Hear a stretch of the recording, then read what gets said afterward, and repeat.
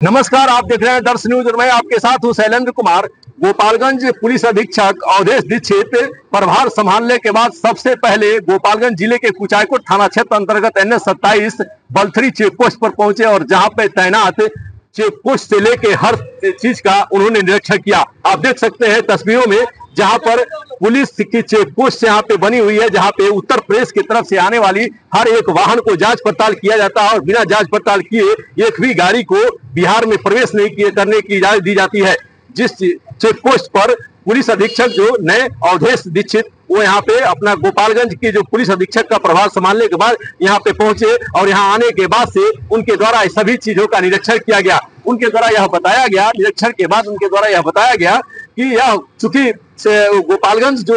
कुचायकोट थाना का है ना, सत्ताईस बल्थरी चेक पोस्ट है, ये उत्तर प्रदेश बिहार का सीमावर्ती क्षेत्र है, जहाँ पे लीकर की तस्करी, शराब तस्करी सहित तमाम तरह की तस्करी की घटनाएँ हमेशा सामने आते रहता है, साथ ही साथ यहाँ पे आपराधिक गतिविधियों का आने जाने का यहाँ पे ये आम रास्ता है, चूँकि एन एस है, जिसको लेकर यहाँ पे मेरे द्वारा हर चीज़ का जाँच पड़ताल किया गया और यहाँ पे तैनात हर एक पुलिसकर्मी को, हर एक व्यक्ति को यह निर्देश दिया गया कि किसी भी प्रकार की कोई गड़बड़ी नहीं होनी चाहिए। अगर गड़बड़ी का कोई भी शिकायत अगर मिलेगा तो उस जो अफसर होगा, जो दोषी अफसर होगा, उसके ऊपर कार्रवाई की जाएगी, चाहे वो चौकीदार हो या थानेदार हो या थानेदार से ऊपर जो अधिकारी हो किसी को भी नहीं बख्शा जाएगा उसके ऊपर कार्रवाई सुनिश्चित किया जाएगा। अगर ये दोषी पाया जाएगा तो, तो जरा आप भी सुनिए कि निरीक्षण के बाद जब यहाँ पे जाँच पड़ताल किए उसके बाद गोपालगंज के नए पुलिस अधीक्षक अवधेश दीक्षित के द्वारा क्या पूरा बात बताया गया? गोपालगंज एक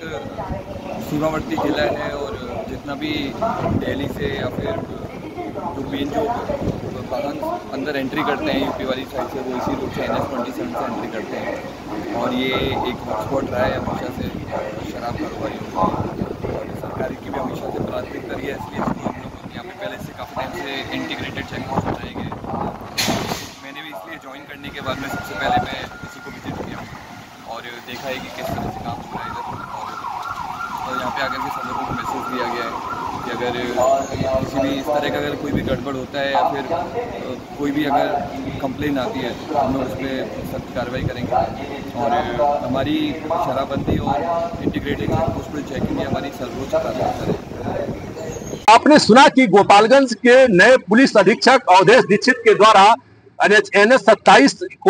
थाना क्षेत्र के बलथरी चेक पोस्ट पर पहुँचने के बाद जब उनके द्वारा निरीक्षण किया गया निरीक्षण के बाद उनके द्वारा पूरा क्या बात बताया गया? उन्होंने साफ़ साफ़ यह बात कह दिया है कि मैं जब से प्रभार संभाला हूँ, पहले क्या होता था, अब क्या आगे होगा, उसका निर्णय हम करेंगे और इस इस चेक पोस्ट पर किसी प्रकार की कोई गड़बड़ी बर्दाश्त नहीं होगी। अगर गड़बड़ी करते हुए कोई भी दोषी पाया जाएगा तो उस पर कार्रवाई सुनिश्चित किया जाएगा। दर्श न्यूज़ के लिए गोपालगंज से मैं शैलेंद्र कुमार श्रीवास्तव।